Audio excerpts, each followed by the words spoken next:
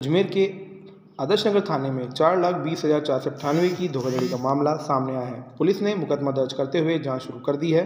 थाने के sub inspector Kanhaiya Lal ने बताया कि पालरा क्षेत्र में स्थित श्याम फ़ूड प्रोडक्ट कंपनी के मालिक लोकेश खंडेलवाल ने मुकदमा दर्ज कराया कि दीपक राठी नाम के व्यक्ति ने उनकी फर्म से बेस्ट घी की इक्यासी कार्टून बुक कराए थे, जिसकी कीमत चार लाख बीस हज़ार अठानवे थी। इस प्रोडक्ट को उन्होंने डिलीवरी कर दिया, लेकिन दीपक राठी ने इसका पेमेंट नहीं किया। जब इसे लेकर उनकी फर्म पर गया तो उन्होंने पेमेंट से इनकार कर दिया। इस संबंध में पुलिस ने दस्तावेज़ चेक करते हुए इस मामले में अनुसंधान शुरू कर दिया है। सर, क्या मामला है? दर्ज कराया। कल दिनांक छः पाँच दो हज़ार बाईस को प्रार्थी श्री लोकेश खंडेलवाल ने एक रिपोर्ट दर्ज कराई कि मेरी firm proprietor messrs Shyam food product, जो पालरा रिको एरिया में स्थित है, जिसमें मेरी फर्म में घी और तेल का व्यापार होता है।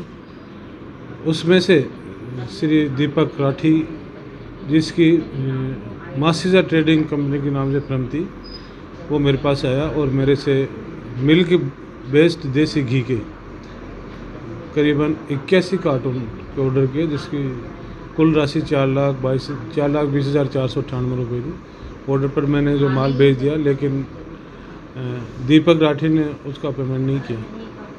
और जब लेने के लिए गया तो उसने राशि देने के लिए मना कर दी जिस पर प्रकरण संख्या प्रकरण दर्ज किया जाकर के अनुसंधान किया जाता है। ये चार सौ भी चार सौ छः आई पी सी में दर्ज किया है, अनुसंधान जारी।